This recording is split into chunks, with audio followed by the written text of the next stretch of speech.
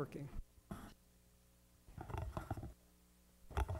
Good afternoon, everyone, on this beautiful fall afternoon. I gather we're going to head, head into winter tomorrow, but at least uh, we're going to be in good shape for today.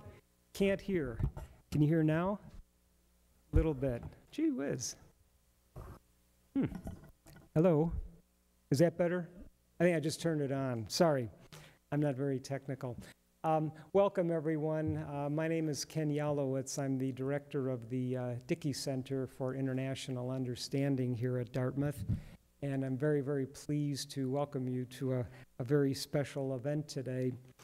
Um, my wife and I had the pleasure last summer. Uh, I was a lecturer on a, a Dartmouth alumni trip cruise and one of the subjects that I chose to speak on was uh, European unification and uh, the, United, the, United States attitudes towards uh, the same. Uh, the trip coincided with the uh, constitutional vote on the European Union Constitution uh, in France and the Netherlands, and I found I had to pretty much junk, you know, what I had prepared and, and go back to the drawing board. Um, but the key point uh, out of all of that, again, is that despite um, all of our attention on the Middle East, on Iraq, uh, on quote unquote the war on terrorism, the process of European unification, the process of Europe becoming Europe, uh, is going on. And it doesn't get a great deal of attention uh, in our press and I think and in our public discussion.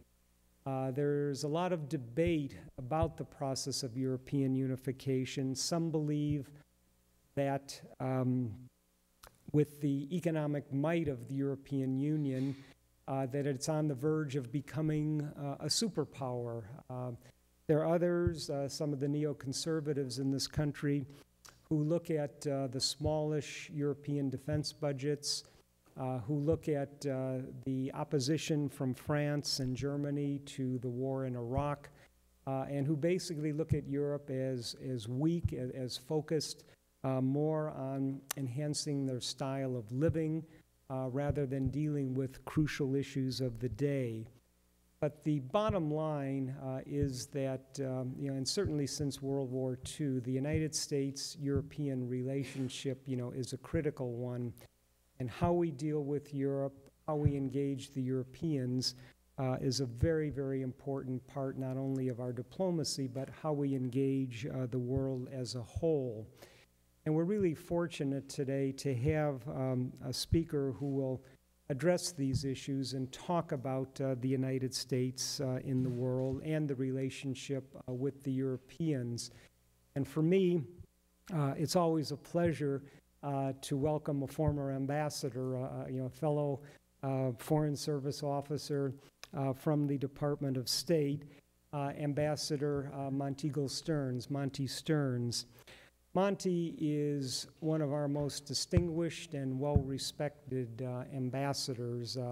unfortunately, we never had the opportunity to serve together, uh, but I certainly knew of him, and uh, he is very, very well thought of and very highly regarded uh, from within the Foreign Service and without. He served as the United States ambassador to Greece uh, from August of 1981 through September of 1985. Uh, he, as a career Foreign Service officer, also served as the United States ambassador to the Republic of Ivory Coast from 1976 through 79 and he was also vice president of the National Defense University from 1979 through 1981. His other Foreign Service postings included Turkey, the Congo, the United Kingdom, and Laos. And amongst his Washington assignments, he served as Deputy Assistant Secretary of State for East Asian and Pacific Affairs and as Special Assistant to W. Averell Harriman, then the State Department's ambassador at large. He left the Foreign Service retired in 1987 and has been uh, a fellow at the Woodrow Wilson International Center for Scholars in Washington, D.C., Uh, he's been the Warburg Professor of International Relations at Simmons College in Boston, the Whitney H. Shepardson Fellow at the Council on Foreign Relations in New York, an associate and affiliate of the Weatherhead Center for International Affairs at Harvard University, and the Stanley J. Seeger Visiting Research Fellow at Princeton University. He's also uh, the author of several books, uh, and to me is the epitome of, of the scholar uh, diplomat, uh, the practitioner and the academic, which I think is a wonderful, wonderful combination. So please welcome uh, me in joining Ambassador Monteagle Stearns. Monty.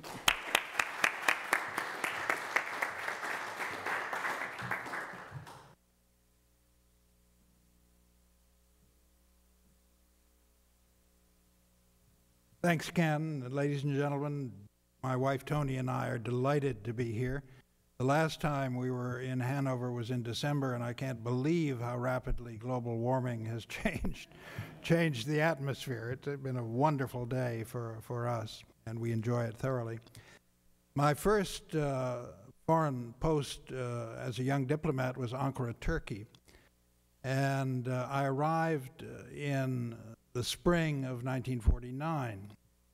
I was the most junior of uh, growing staff. This was immediately uh, after the proclamation of the of the Truman Doctrine, and we were building up in both Ankara and Athens our staffs. Uh, I was uh, my title was assistant attaché. I don't think I've ever met an assistant attaché since, so perhaps I retired that particular title, but I was at the very bottom of a diplomatic list that was a long, long totem pole. In any event, a year after I arrived in Ankara, uh, North Korea invaded South Korea. And uh, within uh, a matter of days, I received an unexpected call from the deputy chief of mission at the embassy. I went over to his office and found him in a nervous state, his face pallid, and uh, he said to me, uh, You know that it is only a matter of time uh, after the Korean War broke out that the Soviet Union is going to invade Turkey. I said, uh, No, sir, I hadn't realized that. He said, Yes, those of us who uh, know Soviet policies uh, realize that it is only a matter of time, and uh, the ambassador is making preparations for a small group of Americans to be interned, uh, since uh, the Turks will put up vigorous resistance, but will certainly be overwhelmed. And he has asked that you be included in this group. And I was enormously flattered I just couldn't believe uh, that I had already made such an enormous impact on the embassy, on American policy, and on the ambassador himself. It was only later that I learned that the ambassador had made his selection.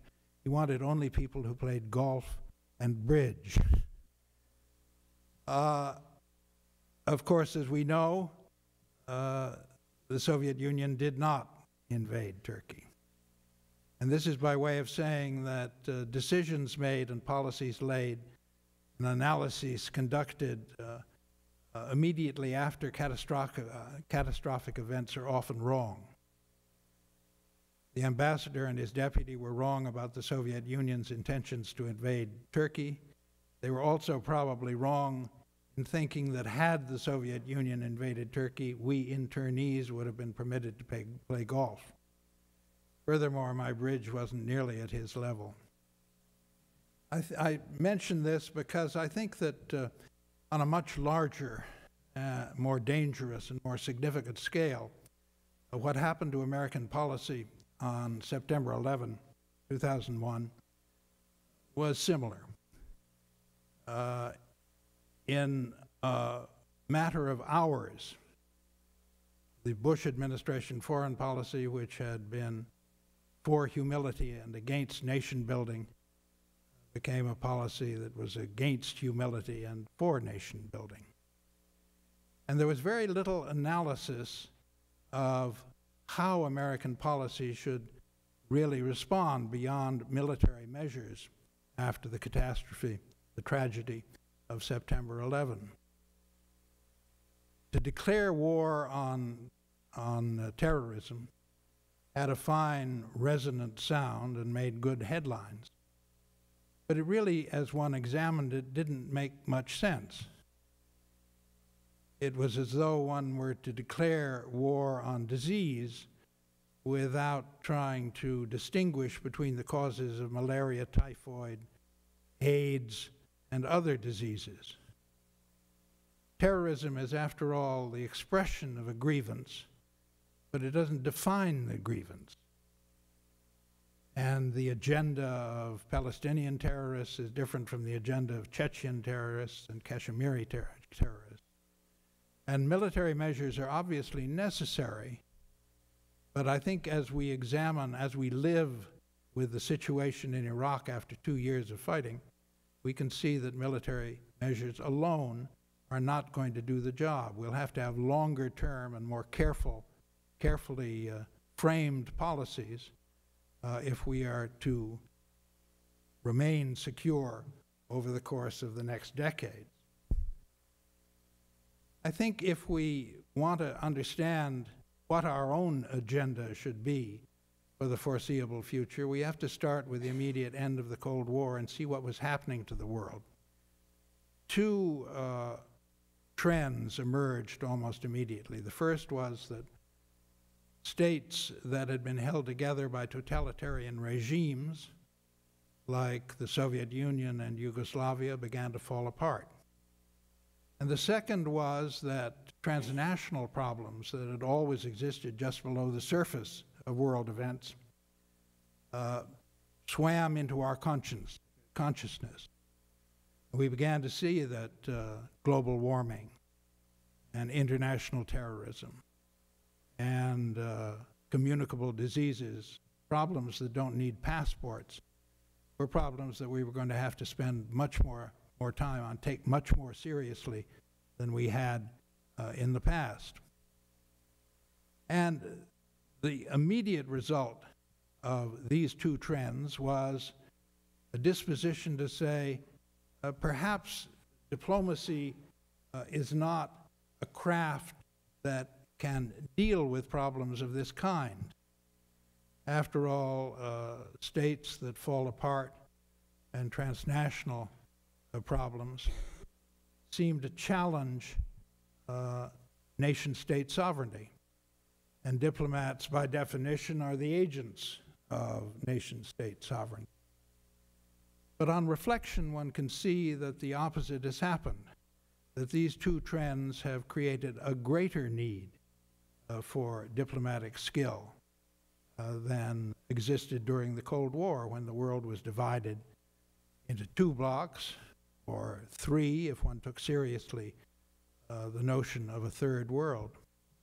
The problems now are far more complicated, require much closer study, much greater expertise uh, than anything we had before. One advantage that we had in the Cold War was that the danger of a nuclear confrontation with the Soviet Union meant that uh, political administrations realized that uh, they needed the advice of people who spoke Russian, who knew uh, the Soviet Union and Eastern Europe, people like uh, George Kennan, Chip Bohlen, and Tommy Thompson. And this was the only area in the world in which professional diplomatic expertise was taken particularly seriously. And the result was favorable and benign. We saw the uh, influence that Tommy Thompson had during the Cuban Missile Crisis, when his ability to say to the ExComm meeting and to the president himself, uh, I don't think this is the way the Soviet leaders are looking at the problem had a real influence on President Kennedy and helped avert what would have been a terrible confrontation and conflagration. But uh, except during that period of the Cold War, diplomatic expertise, regional expertise, knowledge of foreign languages, knowledge of foreign cultures was never taken very seriously by successive American administrations. And uh, with the end of the Cold War, it has taken a lot of time to realize how, how acute the need uh, has, has become. Even the present administration, which uh, on the whole has been disdainful about diplomacy, has very recently said through Condoleezza Rice, this is the time for diplomacy. Now, this means that uh, when we look at the problem that's most on our minds, which is international terrorism, instead of just a war, it has to be a multidimensional approach. It means that uh, if terrorism is to be contained, it will require more than military means and more than coalitions of the willing. And the natural allies, those with the deepest sense of what has to be done, are certainly the United States and the Europeans. So that the deterioration of relations between the U.S.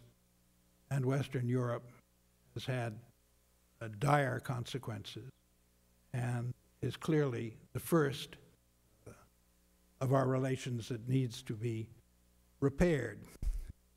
Even as our relations with Western Europe and the European Union improve, we will find that there are differences, fundamental differences in the American and the European approach to diplomacy. The founding fathers of our republic were very conscious that our foreign affairs were going to be different, different uh, qualitatively from traditional European foreign affairs and foreign policies. You remember that Thomas Jefferson Benjamin Franklin uh, made a point of dressing in plain colors, uh, eschewing any uh, of the plumed uniforms that uh, European diplomats wore. We were going to be different. We were different. That was why we had declared our independence, why we had framed our Constitution. The United States uh, didn't appoint an ambassador to a foreign country until 1891. And the reason was that we associated the title ambassador with courts and kings. The first manual of American diplomacy, published in the early part of the 19th century, says that uh, an ambassador is not an appropriate representative of the United States because our envoys abroad represent nothing but the nation. For practical reasons, we uh, finally gave in. Incidentally, the Soviets went through the same transition immediately after the October Revolution. There were no Soviet uh, uh, ambassadors or ministers abroad. Were only the people's representatives. But the Soviets uh, discovered, as we had earlier, people's representatives ended up below the salt and were never received by chiefs of state. So uh, compromises needed to be made. Another difference in the American approach, which is still apparent, I think uh, Ken and I could both attest to the fact that uh, this particular mentality still activates much of our much of our foreign policy. Americans look at foreign affairs and think in terms of problems to be solved. Europeans look at foreign affairs as a continuing process which problems can be mitigated, but many of them can never be solved for uh, an American government, most American governments, no foreign problem is worth paying attention to until it reaches crisis proportions. For most Europeans, uh, a problem that has reached crisis proportions is a problem too long neglected. It was Cardinal Richelieu that said that diplomacy has to be a permanent negotiation in search of semi-permanent uh, treaty arrangement. a continuing process, a realization that uh, there are a lot of problems in the world that we simply have to live with, that we're never going to be able to, to solve them as such. This has had an effect uh, on American diplomacy and on American foreign policy, which puts us in the position of an observer of foreign affairs. American foreign policy makers like doctrines. And one reason they like doctrines is that doctrines usually apply only to foreigners. Most states uh, eschew doctrines uh, like the plague, feeling that a doctrine is likely to limit your options ever changing world. After the promulgation of the Truman Doctrine, it was already apparent when communists took over in China that uh, President Truman's pledge to defend freedom wherever it was threatened was by no means categorical. And when the Johnson administration tried to apply the Truman Doctrine to Vietnam, the results were disastrous. So doctrines are rigid, but they also imply that uh, you're really not engaged in foreign affairs, that you are manipulating uh, foreign affairs from the outside. This is why uh, I titled this talk, uh, Turning Superman into Clark Kent. We hear an awful lot about the United States as today's hyperpower, number one in the world. And certainly in military terms and in economic terms, we are unchallengeable. But that's only part of the story. Immediately after World War II, our position was probably more powerful than it is today. We were then producing something like 52% of the world's GDP. It's now down to 25%. And our military strength immediately after World War II was, even with the demobilization that was occurring, formidable. And at that time, uh, being number one wasn't something that we boasted a lot about. It was something that we took for granted and sought to use in a constructive way through the Marshall Plan and through the, through the Truman Doctrine. In the last 20 years, uh, I had the pleasure and privilege of seeing a good deal of George Kennan in his 80s and 90s, living in retirement at Princeton. And Kennan used to say, Why is it that we have to brag so much? And it's true that, uh, of course, all statesmen, all leaders uh, extol their country's virtues. Nothing to apologize for. But I, like Kennan, sometimes wonder why it's necessary uh, to argue that the United States is the greatest power in the history of the I blame a little bit the academic political scientists. It seems to me that the study of history teaches humility, and the study of political science uh, teaches overconfidence or cultivates overconfidence. In any event, for whatever reason, we seem to not be willing to use our position as number one by engaging ourselves in the problems of the world, but instead we try to separate ourselves. I think the time has come to join the world, not to relinquish American leadership. That is, that's not a connotation that I would accept or you would accept. But uh, certainly, instead of looking at the world from the outside, let's look at it from the inside. Instead of formulating doctrines, let's formulate, formulate pragmatic policies.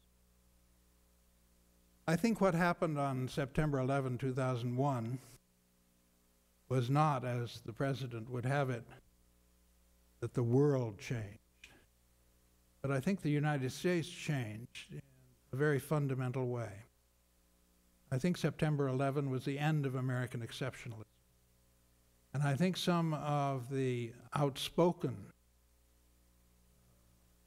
nationalism that we now have in the United States is simply the U.S. being pulled kicking and screaming into a world that other countries have been living in for a very long time. As terrible as September 11 was, it certainly wasn't the beginning of terrorism.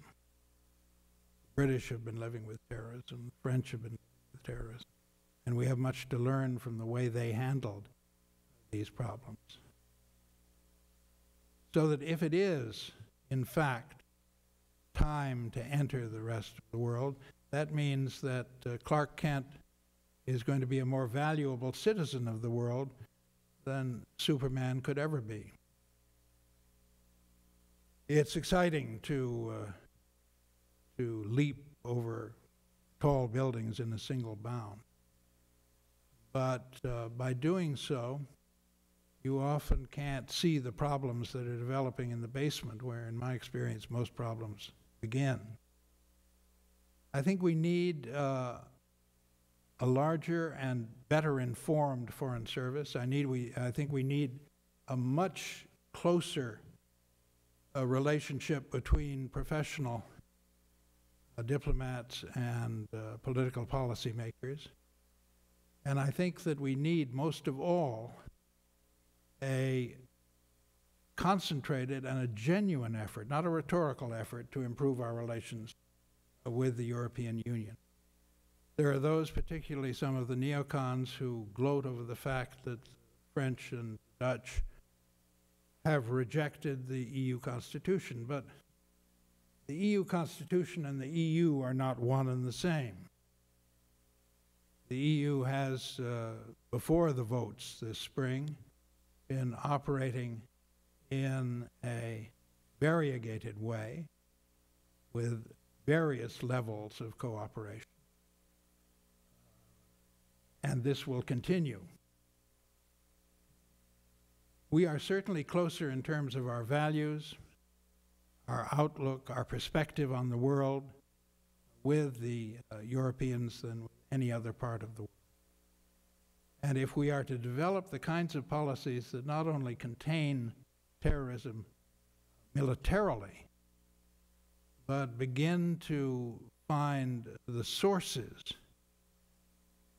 and adjust our own behavior constructively to remove some of the elements and provocations that make terrorism such a savage weapon, uh, we're going to have to live with insecurity for a very long time to come.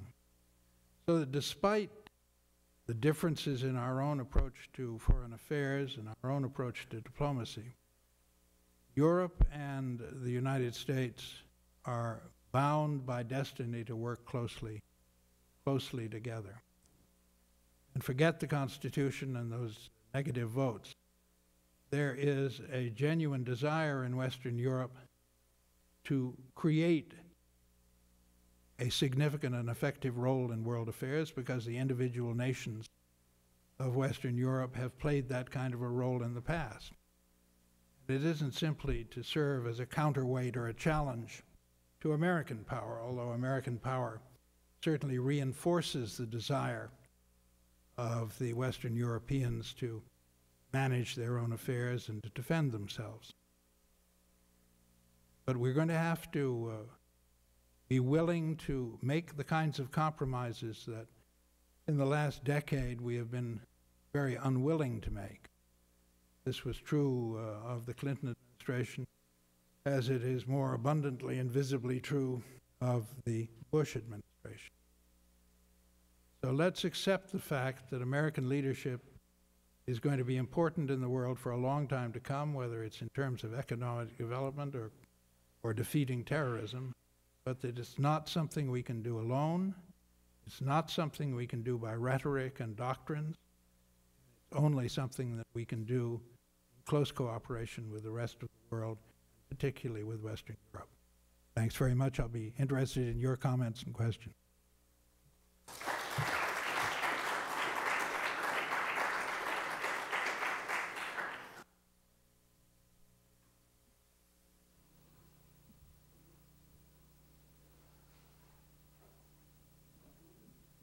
Anyone think that uh, the European Union itself is doomed after the defeat of the Constitution May?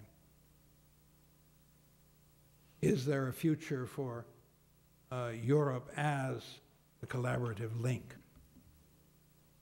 How do you think that we can best, step by step, improve our relations with Western Europe? Is it uh, simply a matter of uh, the President or the Secretary of State making uh, trips and having press conferences, or are there specific uh, steps that we could take which would encourage Europeans to work more closely with us in Iraq, for example? One that I can think of would be uh, to share some of the wealth that is now going to Kellogg, Brown and Root, and to Halliburton and to American companies. Some of this uh, will have to be shared to make it worthwhile in a pragmatic sense for the Europeans to take the risks uh, that will be involved if they are to play a more active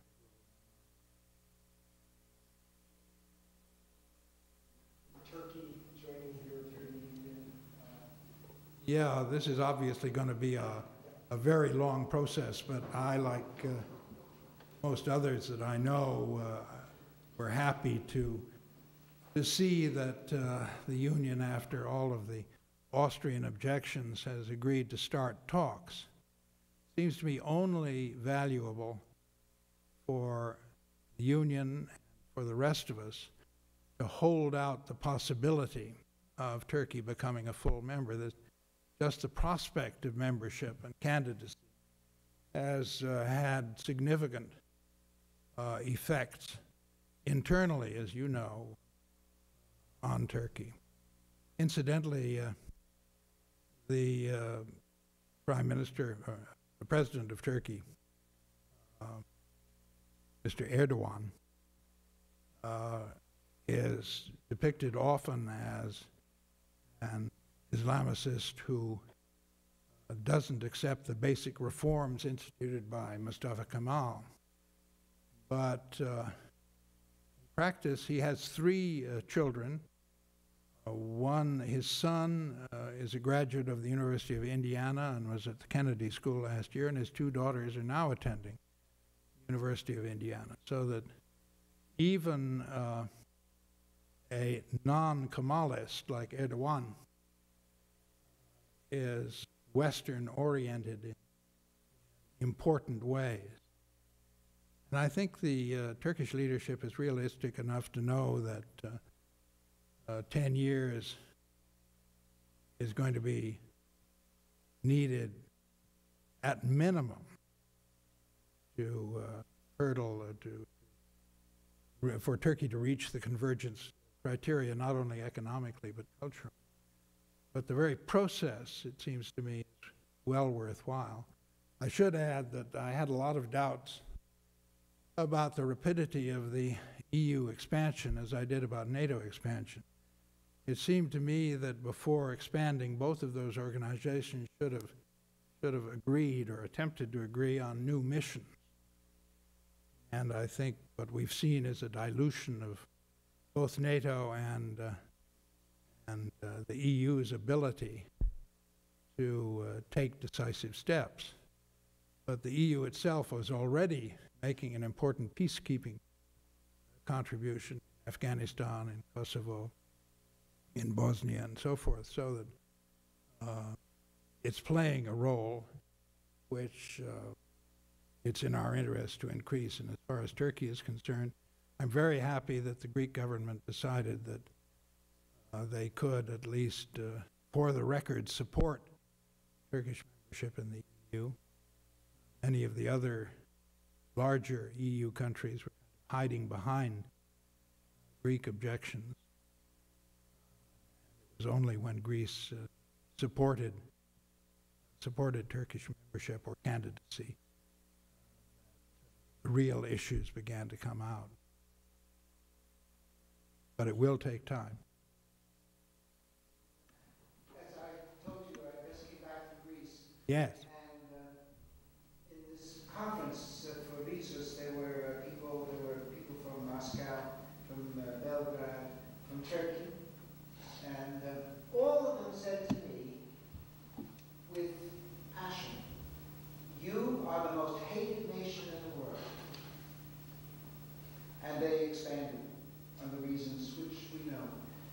um,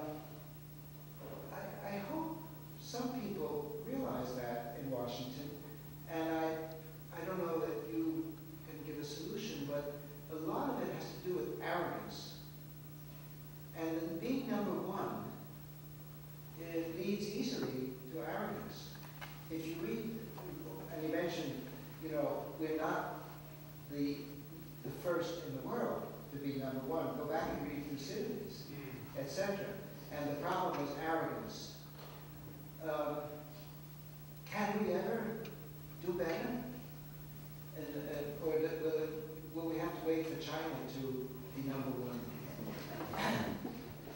Peter, I couldn't agree with you more. I think some of this is a matter of style, and the Bush administration style, which is hard for many Americans to take, is certainly uh, impossible for most Europeans to take. I looked at uh, uh, poll results last summer, and even in Turkey, uh, over 50% of those polled thought that the United States was a greater threat to world peace than Iraq.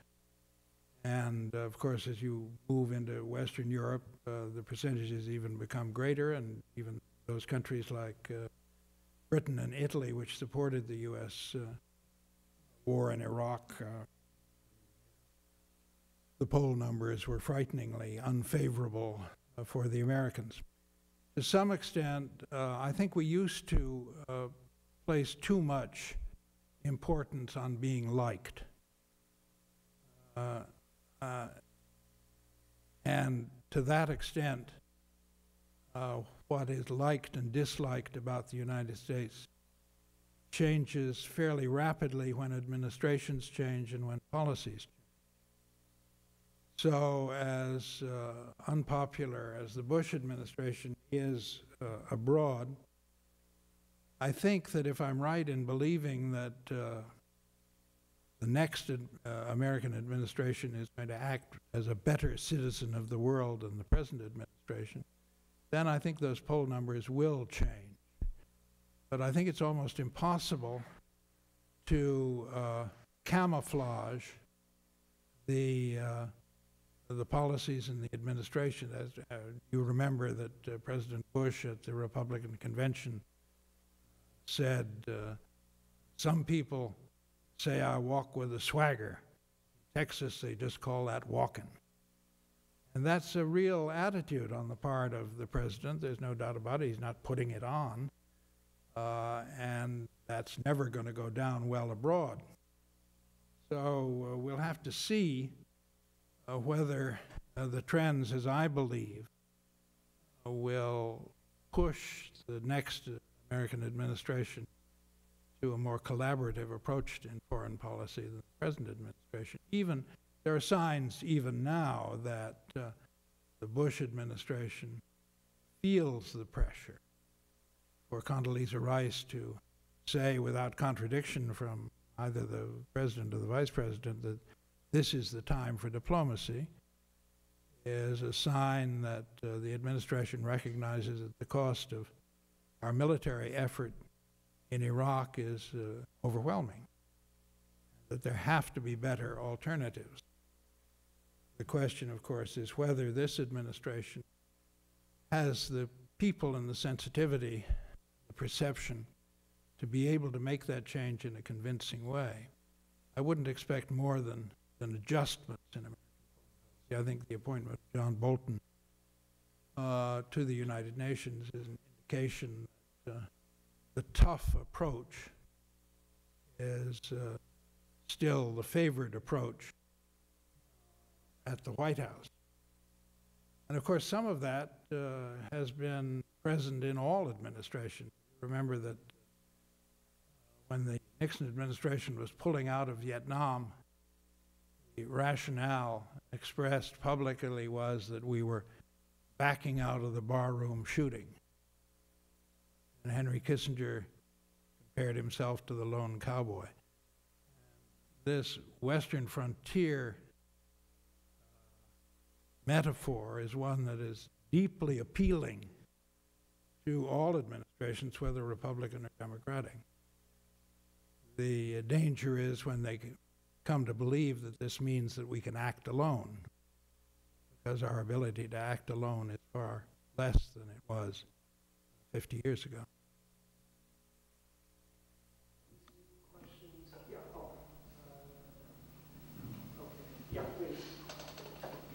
Could you give a brief uh, summary of your career from your time as an undergraduate up to your time at, at the uh, National Defense University? I'm sorry, I didn't hear the question. Yes, can you give a brief summary of your career up until the time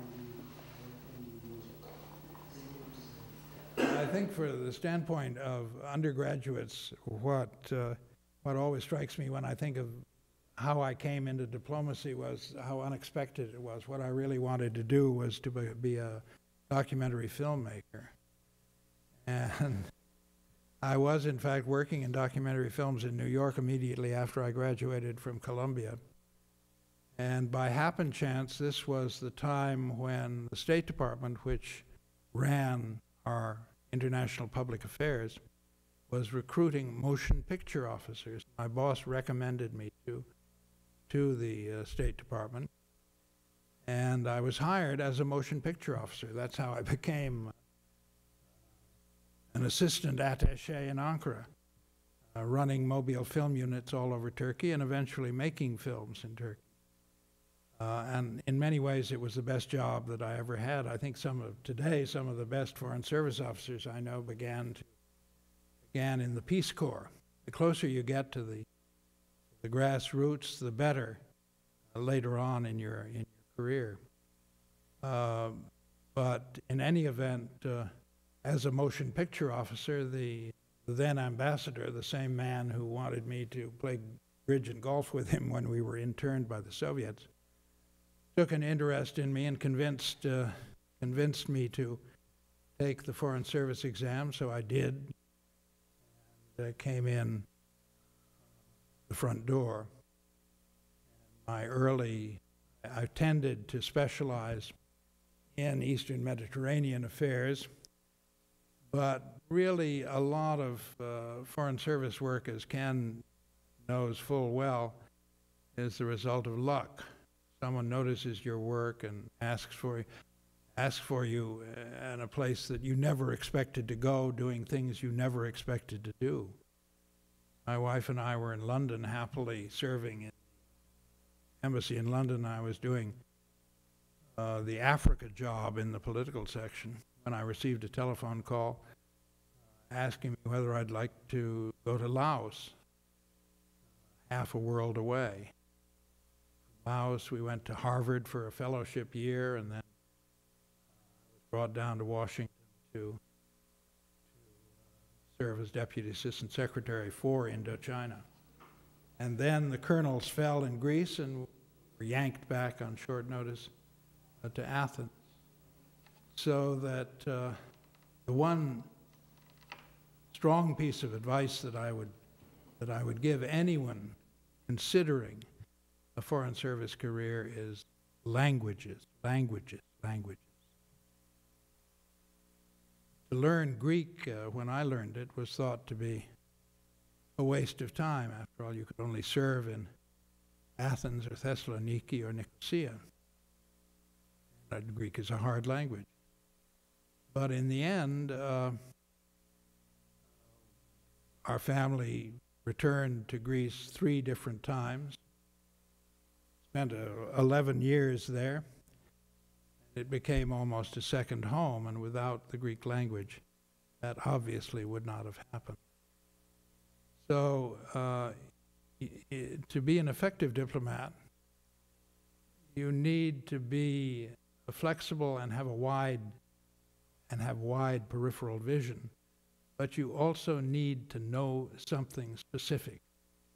It's that combination. Even if the something specific, like the Greek language, sometimes seems to be a total waste of time. Yes.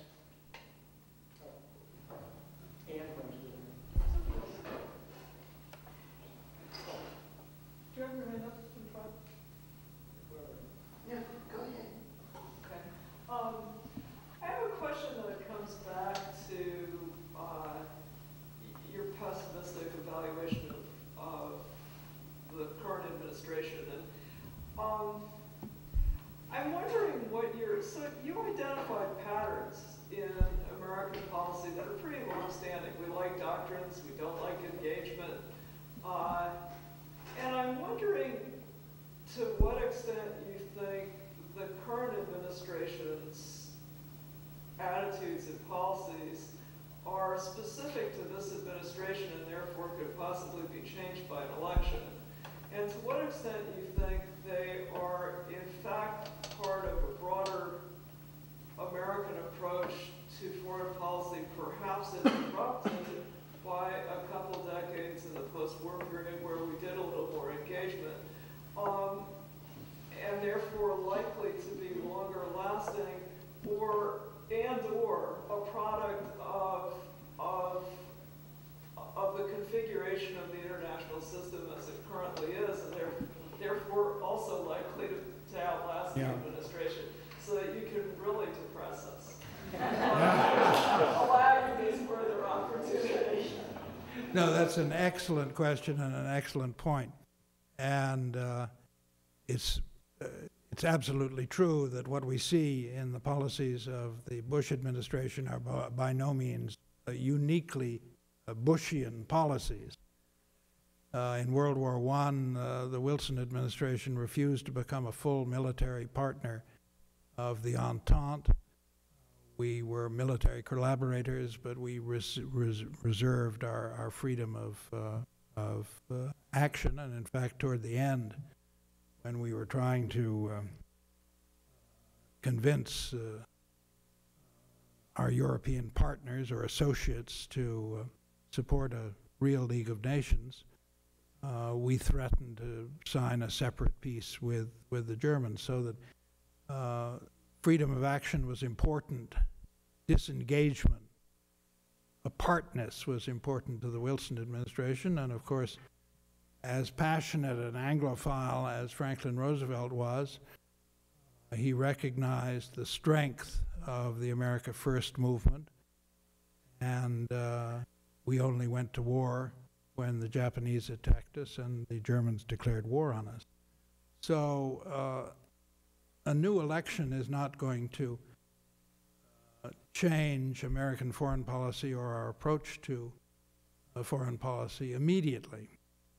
But it has to start somewhere, and I do believe that uh, the ultimate effect of September 11 and the Twin Towers will be to make us realize that we are now vulnerable on our own soil and that it is not within our ability to secure our own defenses alone. This will take time and uh, to overcome this innate sense of American apartness, also known as isolationism, is by no means easy. But I'm nevertheless inclined to think that the extreme unilateralism, extreme nationalism of the current administration is a sign that we are aware that we're no longer able to act quite the way we used to. But the uh, mentality that you have outlined is one that isn't going to go, go away immediately. follow up on that by indicating, to make us all miserable again, which is that uh, people reading newspapers and following foreign news are dropping every single year. Uh, There's less interest in what's happening around the world. There's more an inward-looking sense that we wish to be taken care of here, but that somehow it doesn't have anything to do with anywhere else. How can we turn this around among the young who are going to end up being, being our age? Well, the young, uh, we all know, uh, don't rely on their news uh, through reading newspapers. So while it's deplorable for members of an older generation to realize that the readership uh, per capita is falling for the New York Times and serious newspapers, there's an awful lot of information available on foreign affairs on the net. There are many, many other ways of uh, satisfying one's curiosity. I'm not sure that I think that uh, the American people as a whole are less interested in foreign affairs. It seems to me that uh, one effect of the Iraq War has been to make everyone aware of longstanding problems in the Middle East. uh, the schools, of course, are where all of these processes have to begin. And um, Dickey Center, for example, becomes a very important way to uh, bring students, the whole younger generation, into an awareness of foreign affairs and how important foreign affairs is in our daily lives here in the United States. I think it's very unfortunate that American newspapers have closed foreign bureaus and to the extent they have. But uh, on the other hand, lots of Americans are able to go abroad and do go abroad. And um, you and I have uh, two sons living in Europe, married to a French uh, French girl and a German girl. So I think that uh, there are ups and downs in this kind of interest, but uh, uh, I think that we'll see a revival. They're perhaps already beginning. I hope so. announced in the beginning that I do not share the general depression that uh, Hanover cultural complaint uh, uh, seems to manifest. Your ideas and pessimism is, is very reflective of, of, of the academic world which that represents. Uh, two specific ways of addressing the, the, this relating to foreign affairs. Those people who are more supportive of the current administration's policies, point to Libya, point to Lebanon, point to a whole variety of developments, includes Israel's leaving the Gaza Strip as somehow linked to the aggressive foreign policy which you're critical of. Uh, The second, I'd just like your comment what linkages uh, you see and don't see with uh, those events.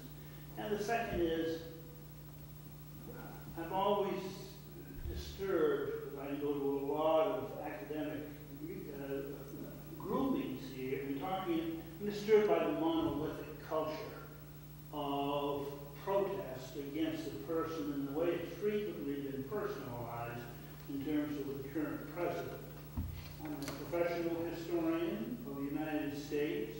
I do think 9/11 was of immense importance in terms of shaping options in foreign policy.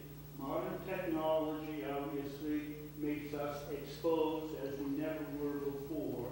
And I would like your comments on how you see, you know, you're talking about old-fashioned negotiation as a solution. How do you see foreign policy actions should be, inevitably will be changed because of 9/11?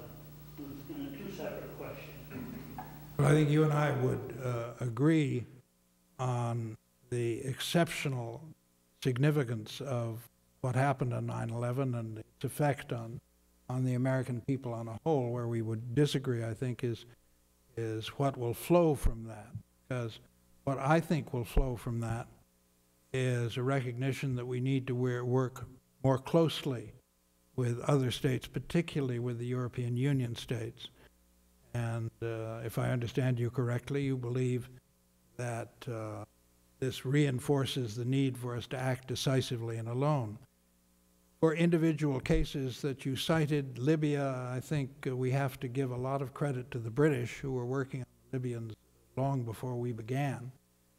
And uh, most of the other problems that, uh, that we face, uh, we have a great deal that we can learn and share with other states who have been working on them together with us.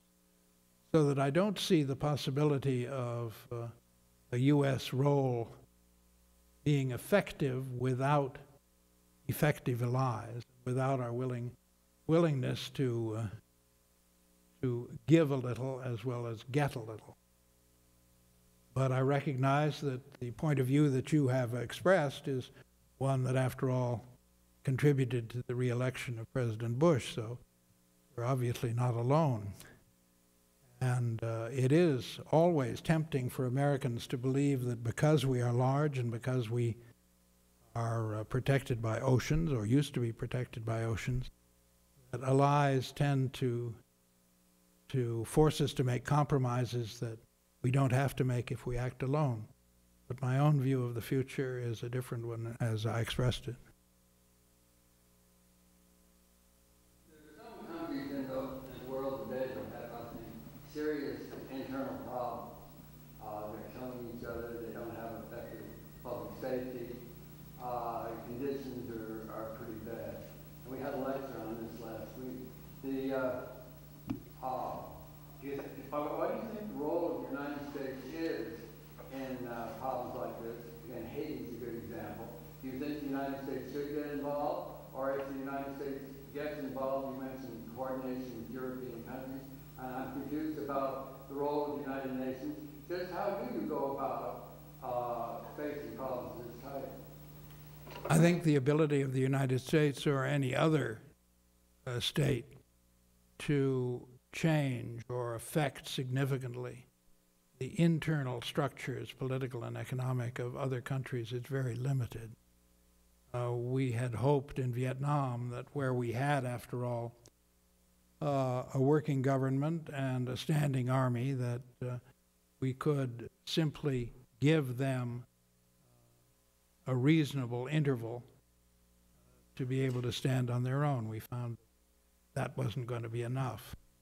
I'm pessimistic about our ability to create structures that in Iraq that will enable us to withdraw soon, leave behind something that will last. So that I'm, I tend to be, as a former professional diplomat, skeptical about our ability to to uh, change the internal affairs of uh, other states. I think in the case of Haiti, uh, a peacekeeping, a limited peacekeeping role, uh,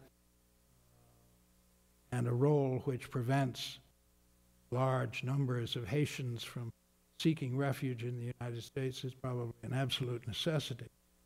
But I would be very pessimistic about the possibility to uh, turn Haiti around. That's been tried for decades and hasn't worked so far. You've talked today quite a bit about, uh, and I think there's probably a consensus here even, about the uh, engagement of the United States in the future. That is, that after the September 11 events, we would have to be more engaged, more involved in diplomacy um, on a European scale. And I'm curious um, if those events push us in that direction, if you can look before 9 11, is there a scenario in which our proper diplomatic engagement might have alerted us to the problems in a way that we might have avoided them? How would it have operated before 9 11? I'm very curious to know. Well, of course, the whole question of whether better intelligence would have enabled us to uh, take steps to prevent what happened on September 11 is uh, a subject of hot debate. My own experience with intelligence is that uh, there is always uh, correct intelligence somewhere. And the difficulty is to decide what is correct and what is incorrect uh, and get it to policymakers uh, in sufficient time. I think that uh, what I have read about the lead up to September 11 indicates to me that people like Richard Clarke, who uh, were whose whole career and interest was in anti-terrorist activity, uh, were unable to convince policymakers that uh, this was an imminent problem. And I don't think this would have been true only of the Bush administration by any means. I don't think the Clinton administration necessarily would have been able to react uh, any differently. I'm not sure that I think that the Homeland Security Department is is the right solution. It seems to me to add bureaucratic layering rather than remove it. What we've seen with uh, Hurricane Katrina is that uh, too much has been lumped into Homeland Security. That natural disasters are probably more likely to strike us than man-made disasters as time goes by. So that uh, I don't think there was a, uh, uh, there were no set of steps that we now see that could have been taken before September 11 that would have prevented it. We know that uh, we should have had a better fix on all of those uh, flight students who wanted to take off but not to land. But uh, that's wisdom after the fact. And who knows if we get a group equally intent on inflicting serious damage on the United States, whether they would take that, uh, use that same method or some completely different one. So it's awfully hard to prepare in all respects. I think that uh, John Negroponte, our new number one leader of intelligence, coordinator of intelligence, is a very good man. When I was ambassador, or when I was uh, number two in Athens, when John was consul general in Thessaloniki, and I vouch for the fact that he's highly intelligent, very disciplined and energetic, and a principled conservative. I think that uh, John will do as well as anyone and better than most trying to improve the quality of, of our intelligence in the future, but I don't think that we're ever going to reach a point where we can completely safe and secure. Question that has to do with your, your admonition that practitioners and, and academics work, um, together. And I- I- it, it again has to do with sort of long-term trends in, in, in American politics. So in the immediate post-World War II era, we had a very ideological struggle and a very ideological time. And yet, American administrations of both parties sponsored area studies, sponsored foreign language study, leaned on academic communities.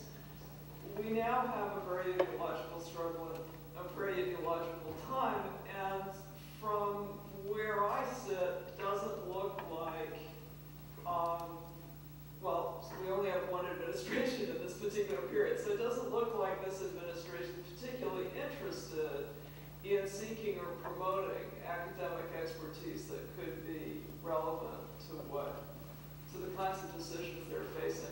So I guess I'm asking is, a- is uh, not really the bigger question, but as a former practitioner, what is it that we could do for you that would make us more compelling?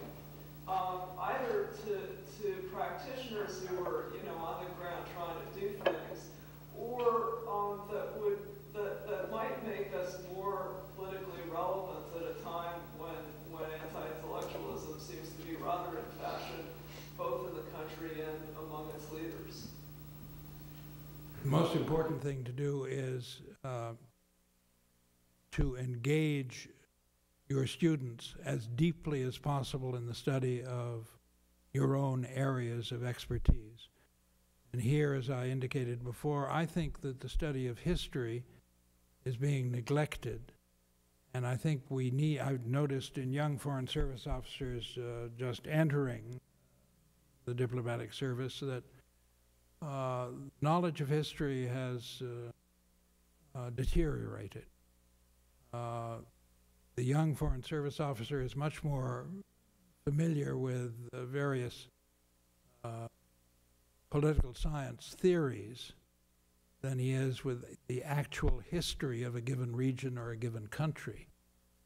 And therefore, I'm a great exponent of, of placing a little bit more stress on history before one moves on to trying to draw from history more general, more general lessons.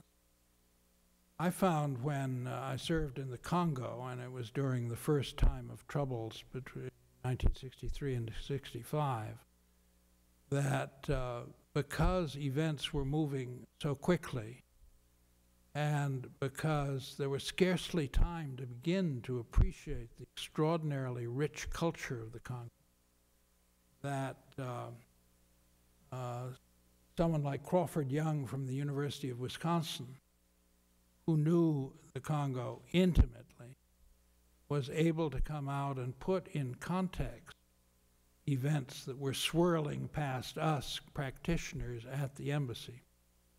And there will always be a role for uh, the scholar who knows, the scholar who has a context, the scholar who can look beyond the immediate flow of events.